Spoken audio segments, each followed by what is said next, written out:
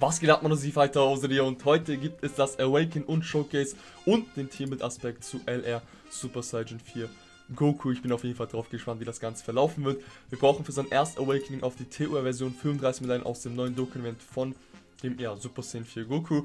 Dann können wir ihn quasi danach zu der LR-Version awaken. Und ich finde die SR-Version von den Charakteren sieht übel geil aus mit dem Golden Ozero im Hintergrund. Lasst mich wissen, welches Artwork ihr von den ganzen Versionen am besten findet. Soll aber nicht heißen, dass die anderen Artworks schlecht finde. Ja, da gab es in den letzten äh, Tagen ein, zwei Missverständnisse, sag ich mal. Ich komme gleich darauf zurückzusprechen kurz. Dann brauchen wir für die LR-Version 35 neue Goku-Medaillen und 35 aus den älteren Super Saiyan 4 Goku.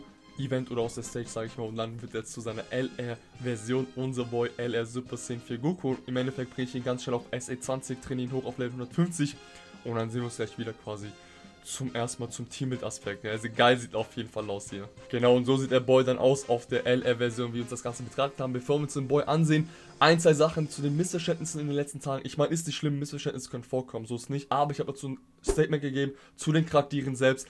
Denn da kam was Falsches an. Ich habe die Charaktere nicht schlecht geredet. Ich werde mein ganzes Statement, das ist ein bisschen viel gewesen, auch vielleicht hier in den Kommentaren pinnen. Ansonsten ist in dem Community-Beitrag. Aber was ich von Anfang an gesagt habe, beim allerersten Video von den beiden Jungs, war, unterschätze nicht. Also das, das war meine Worte im Endeffekt. Unterschätze nicht. Nur weil bei der PES 80% dran steht, heißt das nicht, dass sie schlecht sind. Im Gegenteil. Es sind eines der besten Charakteren sogar. Wir kommen gleich noch zu, äh, zu sprechen, warum vereinzelt. Und Goku speziell an sich ist der beste Charakter gerade im Spiel, Freunde. Seine, wegen seinem Leader-Skill, wegen seinem Essay-Multiplier, wegen seinem Link-Skill-Setup, weil sein Katuri so facettenreich ist, weil er in vielen Teams passt, weil er offensiv stark ist, defensiv stark ist und wegen dem Active-Skill ist nochmal ein sehr, sehr schöner Bonus, äh, dem, den man einfach mitnimmt und danach noch quasi die ganze Runde angreifen kann. Aber das sind, wie gesagt, gleich alles im Einzelnen. Jedenfalls, was ich aber gesagt habe, ist, ich habe sie wirklich nicht schlecht geredet, das so ist nicht.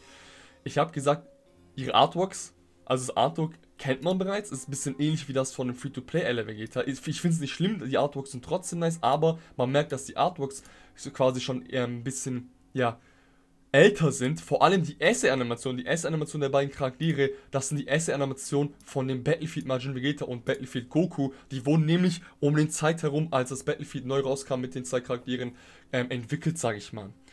Im Endeffekt, Freunde, wie gesagt, zu Missverständnis kann es kommen, ist wirklich nicht schlimm. Aber jetzt, damit ihr das quasi jetzt alle mal gehört habt, wie das so ist. Und im Endeffekt, ganz wichtig, vor allem in solchen Spielen wie Dokkan Battle, werdet ihr von vielen YouTubern, sage ich mal, oder von vielen Spielern, soll jetzt nicht arrogant klingen, aber von vielen Spielern, die wissen, wie das Spiel läuft und Ahnung von dem Spiel haben, ähnliche Statements hören, vor allem zu neuen Charakteren.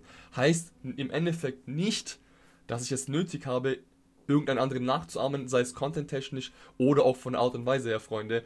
Also, diejenigen, die mich kennen, das ist jetzt die Sache, wir sind schon, diejenigen, die schon lange dabei sind, die wissen, wir schaukeln das alles auf unsere, zum einen auf unsere eigene Art und Weise, sei es von Stil her, Sympathie, Humor etc. Aber das andere ist auch, das wisst ihr nicht persönlich, weil wir reden hier immer noch, kommunizieren immer noch von Monitor zu Monitor, aber persönlich bin ich ein Mensch, ich bin wirklich der allerletzte, der es je nötig hat, irgendeinen anderen nachzuhaben oder nachzumachen. Ich mache meine, ich mache die ganzen Sachen, die ich mache, auf meine eigene Art und Weise, sage ich mal, Freunde. Und wenn ihr Feedback habt, immer gerne, aber dann bitte diskretes Feedback bzw. Kritik. Heißt, Kritik erst oder Feedback erst am Ende, damit es eben nicht zu Missverständnissen kommt. Ist wirklich, ich meine es wirklich nicht böse, ich meine es auch nicht schlimm, ich wollte es einfach, einfach nochmal nur klarstellen, weil wenn ich dann im Endeffekt grundlose und geistig fragwürdige Äußerungen bekomme, dann müssen sich diejenigen, das zählt nicht für jeden, Freunde, das zählt wirklich nicht jeden, da soll sich nicht jeder angesprochen fühlen, das zählt nur für einen Bruchteil der Zuschauerschaft, da müssen sich diejenigen, die geistig fragwürdigen die müssen sich dann fragen, beziehungsweise die müssen sich dann nicht wundern, dass sie von mir eine entsprechende Antwort bekommen. Also am besten, wenn ihr etwas zu sagen habt, Freunde, immer nur gerne, aber lernt euch zu artikulieren und dann könnt ihr das Wort gegen mich richten. Weil Bullshit-Kommentare oder Bullshit-Vorwürfe, die total grundlos sind und abermals geistig fragwürdig, da müsst ihr euch dann, oder da müssen diejenigen sich dann, weil das trifft wirklich nicht auf jeden zu, da müssen diejenigen sich dann, dieser Bruchteil, sich nicht wundern, wenn sie eine entsprechende Antwort bekommen. Soll wirklich nicht böse sein, soll nicht arrogant klingen, aber bei mir bekommt jeder seinen Senf, sage ich mal. Ich gehe sowohl auf Positives ein, als auch auf Negatives und jeder bekommt von mir eine Antwort, Freunde. Ich finde, das ist, das ist gerecht. Naja, kommen wir zum Kontext, kommen wir zum Kontext. Und zwar, LR Super Saiyan 4 Goku ist vom Super AGL Typus Level 150 SA20. Ich habe keinen Dupe bei ihm, er sitzt auf 55%. Sein Leader-Skill ist folgendes, er gibt der Gokus Lineage-Kategorie, die gucken wir uns gleich an. Ki plus 3 HP und Attack 170%, auf die Verteidigung 130% oder Super Agile Charakteren Ki plus 3 HP Attack und F 120%. Super Attack funktioniert folgendermaßen, die erste Super Attack tut massively seine Verteidigung erhöhen, das ist um 100% und macht Colossal Damage. Die zweite Super Attack tut seinen Angriff und die Verteidigung massively erhöhen für eine Runde, wohlgemerkt, sowohl die erste als auch die zweite Super Attack und macht mega Colossal Damage. Massively auf den Angriff heißt nicht, dass er 100% auf den Angriff bekommt, sondern auf den SE-Multiplier. Auf die Verteidigung sind es aber 100%. Heißt, deswegen sollte man das auf jeden Fall nicht unterschätzen, weil die machen wirklich sehr, sehr guten Schaden. Jedenfalls, die Pässe funktioniert folgendermaßen. Goku hat immer 80% auf den Angriff, tut seine Verteidigung aufbauen auf bis zu, 20, äh, bis zu 80% in 20% Schritten, sorry, und zwar passiert das in jede Runde, in die er reinkommt, bekommt er 20% auf die Verteidigung, Maximum 80%, um es einfach zu sagen. Zudem erhält er für jeden Rainbow und AGL-Orb, den er einsammelt, zusätzlich Key plus 2. Also er bekommt wirklich sehr leicht auf seine Ultra Super Attack, weil es ist für Rainbow und AGL zusätzlich Key plus 2. Hat eine Medium Chance, das sind 30% gegnerische Super Attacks zu dodgen und zu kontern. Active Skill ist bei diesen Charakteren quasi jetzt mehr oder, weniger auf das, was sie ausgelegt sind. Ihren Active Skill kann er aktivieren ab Anbeginn der vierten Runde einmalig pro Kampf und dann tut er seinen Angriff, diesmal ist es der Angriff, nicht der SE-Multiplayer, nämlich seinen Angriff um 100% steigen, steigern sorry, und macht Ultimate, Ultimate Damage, das sind 750% auf den SE-Multiplier und dementsprechend, Freunde, sollte man das wirklich nicht unterschätzen. Und wenn ihr quasi im, das sehen wir dann gleich im Gameplay, wenn ihr den Active Skill aktiviert, schaut drauf, dass ihr ihn richtig positioniert, weil die 100% kommen für diese Runde oder für diesen Angriff auf seinen Angriff und nicht auf die Asset Multiplier. Deswegen macht es auf jeden Fall was aus, wo ihr ihn positioniert etc. Aber das sehen wir gleich. Und das ist halt eine Sache mit dem Active Skill. Ihr aktiviert diesen Active Skill und habt danach noch komplett eure ganze Runde, die angreift. Also es ist ein wirklich sehr, sehr guter Zusatz und er ist frühzeitig, frühzeitig kann man diesen Active Skill nutzen. Also eher als wenn wir jetzt so einen Vergleich hätten, Vegeta und Gogeta, ihre Transformationen, die sind eher fragwürdig, ob sie triggern, aber die Active Skills, die, kann, die auf die ist wirklich früh die sind früh aktivierbar, sage ich mal. Das, dementsprechend ist auch wirklich, da haben die auf jeden Fall einen Bonus. Linkskill haben wir an der Stelle Super Saiyan, ganz klar Logo, dann haben wir Saiyan Raw, 25% auf den Angriff, das merken wir uns, Keep Zeit, Prepare for Battle. Wir haben hier an der Stelle Kamehameha, sollte das Ganze sein, richtig.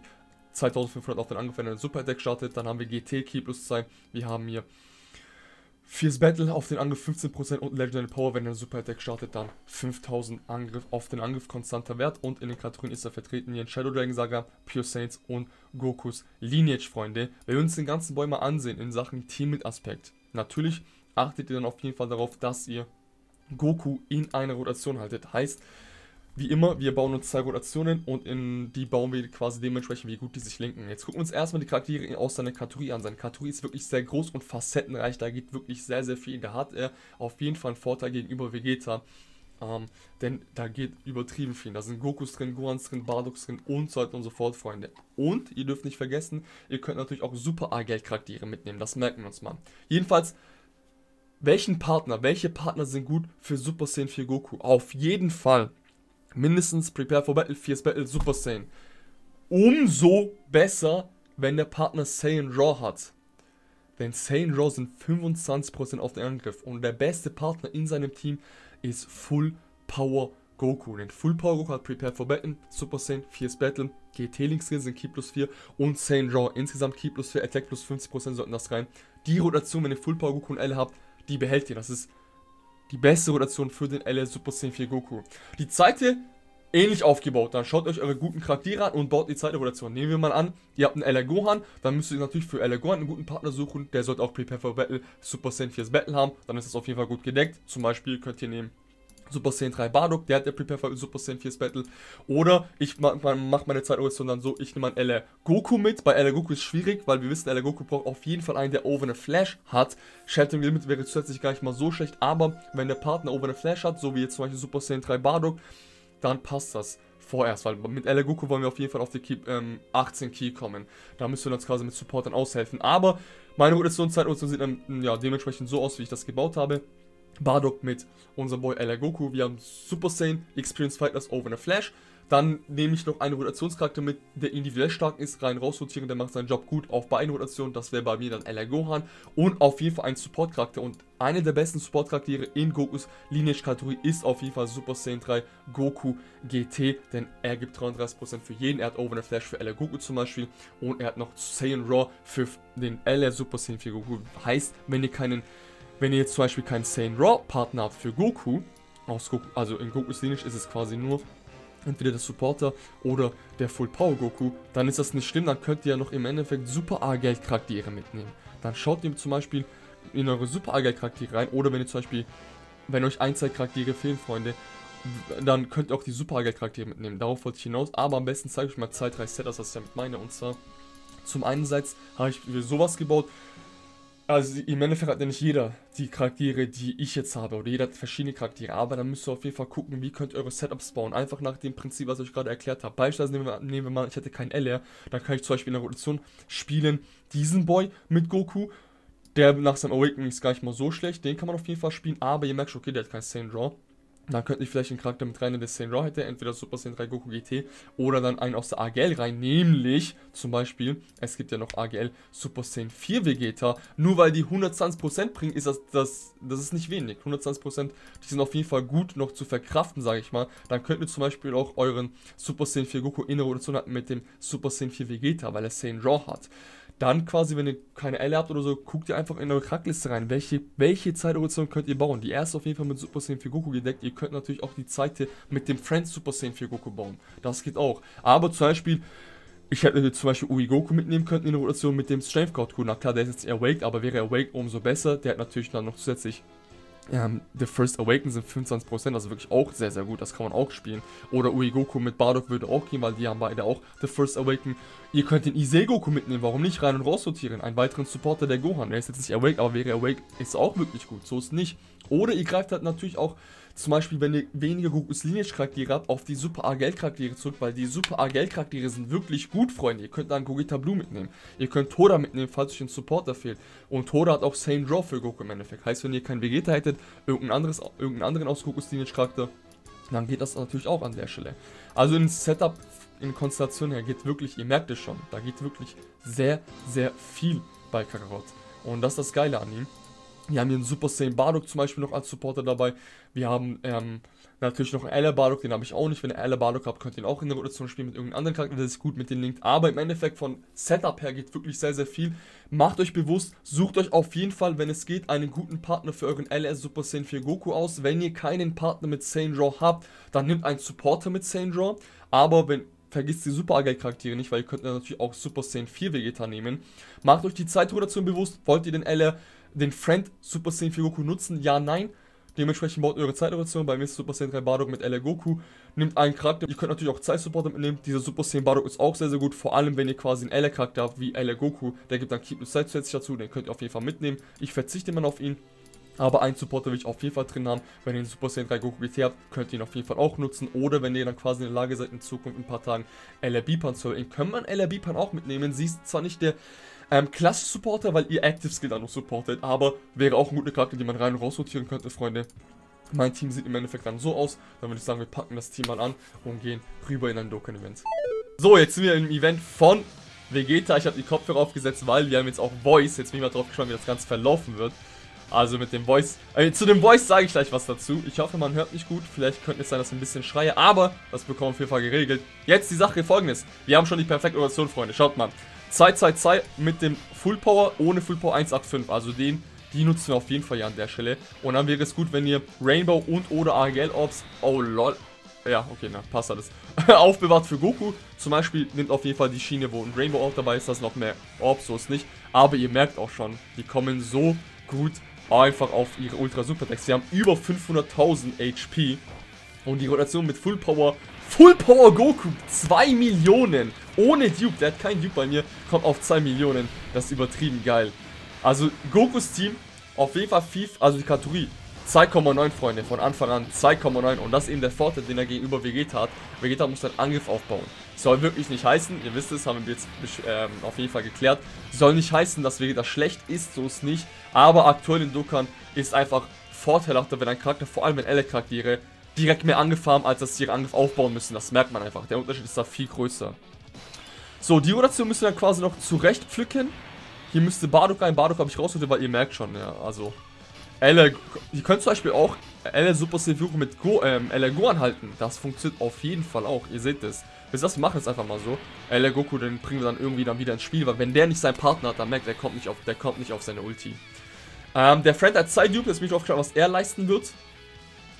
3 Millionen, Freunde. Seht ihr das? das? Und jetzt die SA, die, die das im Kopf haben, die sind wirklich ähnlich wie die von Battlefield Majin Vegeta und Goku. Ist wirklich nicht gesagt schlimm. Aber, weil wir eben also man merkt, dass sie veraltet sind, die S-Animationen. Sie sind trotzdem gut, aber sind veraltet, weil nachdem wir so einen Augenschmaus, so einen Kinofilm, Kurzkinofilm haben, S-Animation von Rosé, Goeta und Broly, hat man es für die Vierjährigen, oder zumindest ich, auf jeden Fall S-Animation technisch sehr viel erwartet, aber die Charaktere sind trotzdem sehr, sehr gut. Warum ist Goku der beste Charakter, Freunde? Ganz einfach. Sein Leader-Skill... Oh, die Rotation. Oh mein Gott. Genau, das ist die Rotation. Genau, das ist die Rotation. Jetzt wartet mal, warte. Ich stelle ich stell das Ganze mal so auf. Weil in der Mitte bekommt er noch mehr. GT noch zusätzlich dazu von... Ja, ja, ja, das wird... Oh mein Gott. 531.000. Was? Okay, okay, okay, okay. Und das wird einfach noch höher, weil er mit der Super Deck noch ähm, auf den SM Multiplayer 100% bekommt.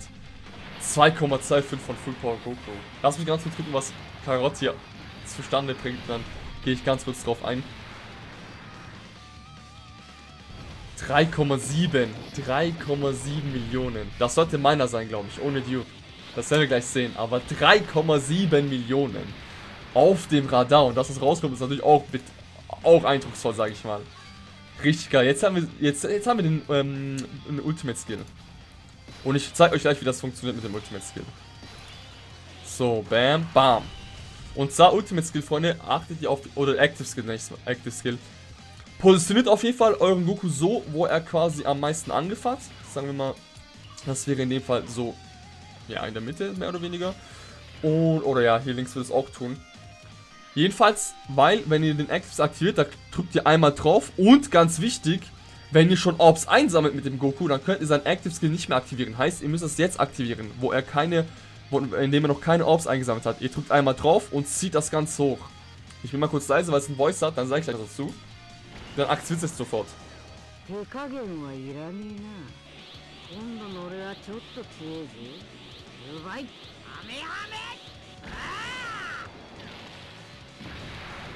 Guck mal. Das waren einfach zusätzlich 2,4 Millionen Crit. Aber, und jetzt kann ich nochmal komplett angreifen. Die Sache ist, Freunde, eine Sache, ich finde die Animation sieht gut aus. Sie ist nicht so schlecht. Sie ist gut. Aber warum ist der Audioeffekt wie von meinem Radio aus 1980? Also bitte. Keine AD, Audioqualität ist ein bisschen meh. Äh, jedenfalls, wie gesagt, ich rede es nicht schlecht, aber trotzdem, an der Audioqualität hätte man auf jeden Fall was hochschrauben können. Jetzt am Ende vielleicht Fazit, Freunde, warum ist Saiyan 4 Goku der beste Charakter? Ihr seht es. Seine Charakter ist so facettenreich. Da sind sehr viele Linking-Partner für sich, aber auch viele Rotationen, die man nehmen kann, viele Support, die man reinnehmen kann. Da sind einfach viel mehr Charaktere, gute Charaktere, bessere Charaktere, sag ich mal. Die Charaktere sind zugänglich, vom Free-to-Play bis LR. Dann, da sein Zeit, das gibt Super Agel, Super Agel, Super Agel Charaktere gibt es auch sehr viele, aber vor allem gibt es solche Super Agel Charaktere, die auch gut in sein Team passen. Wie zum Beispiel ein Toda mit Saint Raw etc. Pass haben wir gesehen. Attack und Death, also offensiv sehr stark, defensiv sehr stark, das haben wir gesehen. Darüber müssen wir nicht diskutieren. Zusätzlich dazu macht er sehr oft seine Ultimates. Weil, wegen seiner Passive, weil er immer zusätzlich pro Rainbow und AGL Orb Key plus Zeit zusätzlich dabei bekommt. Heißt, von Utilitär hat er auch ein sehr, sehr großes Nutzen. Er muss seine Verteidigung aufbauen, aber er tankt trotzdem gut, das haben wir gesehen. Seine Link-Skills sind sehr gut. Wir haben Prepare for Battle am Start, Super Saiyan 4 Battle und Saiyan Raw. Saiyan Raw ist einfach Saiyan Raw, 25% auf den Angriff für einen L-Charakter macht so viel aus, Freunde. Und der Active Skill. Der Active Skill ist frühzeitig aktivierbar, wir haben es gesehen. Im Vergleich dazu, wie, wenn wir zum Beispiel Elevation Goethe hätten, die Transformationen, die kommen sehr selten vor. Die haben zwar ein Heal, für Super Battle kann man das auf jeden Fall nutzen, so ist nicht, aber die Jungs sind in Super Battle auch sehr, sehr gut. Und ihr Active Skill ist einfach ein äh, extra Zusatzquelle, ein extra Damage-Quelle. Ähm, danach könnt ihr komplett nochmal neu angreifen.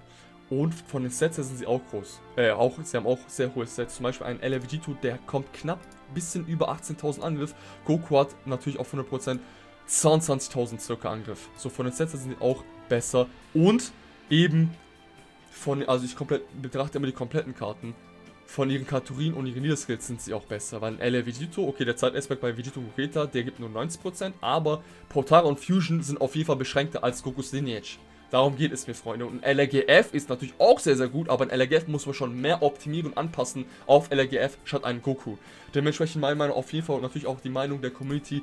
Richtig, LS Super Saiyan Goku auf jeden Fall der beste Charakter momentan im Spiel. Ich hoffe, ihr habt ihn gezogen. Wenn nicht, wünsche ich Fall noch sehr, sehr viel Spaß, bzw. sehr, sehr viel Glück, wenn ihr ihn ziehen werdet. Ich hoffe, das hat euch gefallen. Wenn ja, gebt den ganzen ein Like und wir sehen uns das nächste Mal. Peace. When I pull up at your girl, mommy wanna be my world. You a man, bro, don't you cry. I'ma get her back after I'm done, I'm done. Next time you ain't won't be around.